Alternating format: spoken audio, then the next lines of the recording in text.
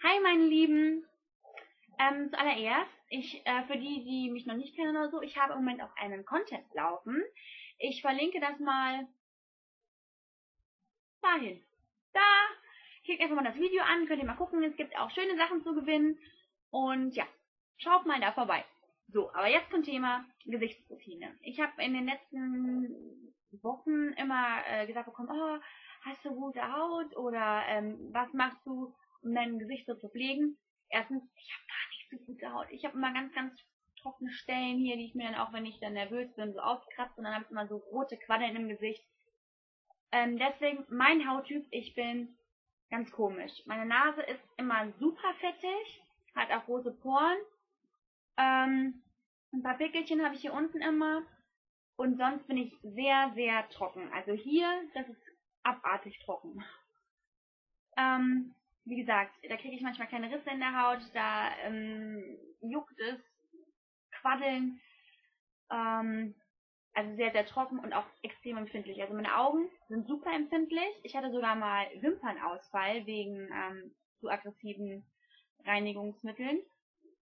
Und deswegen habe ich große Probleme mit, äh, sage ich jetzt mal, so einem Gesichtsroutine-Ding. Ähm, aber ich stelle euch jetzt mal vor, was ich im Moment nutze, okay? Also, äh, morgens, wenn ich aufwache, wasche ich mein Gesicht meistens nur mit Wasser. Ähm, und ich habe das jetzt hier ähm, aus den USA mitgebracht. Das ist Neutrogena Fresh Foaming Cleanser. Den werde ich jetzt auch noch zu Ende benutzen. Der ist super. Ähm, das Gesicht spannt zwar ein klitzekleines bisschen, aber auch nur, weil der so erfrischt. Wenn irgendeiner von euch weiß, wo man das hier in Deutschland herbekommt, ich habe es noch nicht gefunden, bin aber auf der Suche. Müsste ich mir hier was Neues ähm, holen, was ähnliches. Wenn ihr irgendeine Möglichkeit habt, da ranzugehen und ihr habt ähm, empfindliche Haut oder auch alle anderen Hauttypen müssen da damit zurechtkommen, der ist super. Ganz, ganz klasse. Und mit hier mit dem Spender komme ich ganz super mit zurecht. Das. Ähm, ja, und dann morgens mache ich mir dann eigentlich noch dann die Oil of Olaf Total Effect 7.1 Anti-Aging Eye Cream unter die Augen hier. Ähm, ich weiß nicht, wann man damit anfangen sollte, aber selbst wenn ihr erst 16 seid, eine Augencreme schadet nie. Muss ja jetzt nicht unbedingt Anti-Aging sein, aber in Augencreme sind einfach andere Inhaltsstoffe als in der normalen ähm, Gesichtscreme. Die normale Gesichtscreme muss ja durch eine viel dickere Hautschicht, also durch viel dickere Hautschichten als unterm Auge. Und daher unbedingt eine Augencreme auftragen. Die hier ist schön, die hat noch so kleine ähm, lichtreflektierende Pigmente drin. Ähm, dadurch schimmert das unter dem Auge und einige Augenschatten werden schon mal äh, neutralisiert.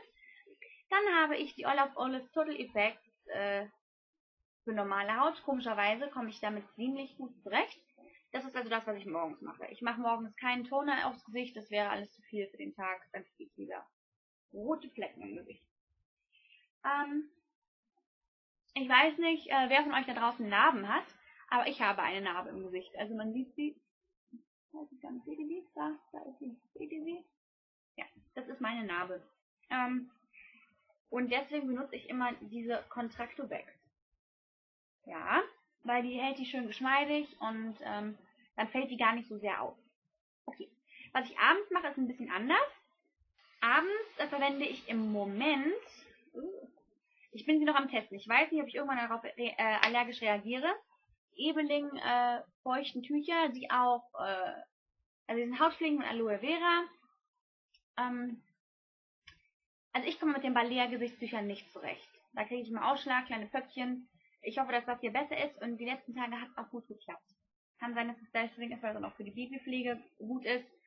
Ähm, ich nehme halt alles auch meistens unparfümiert, also diese Dinge.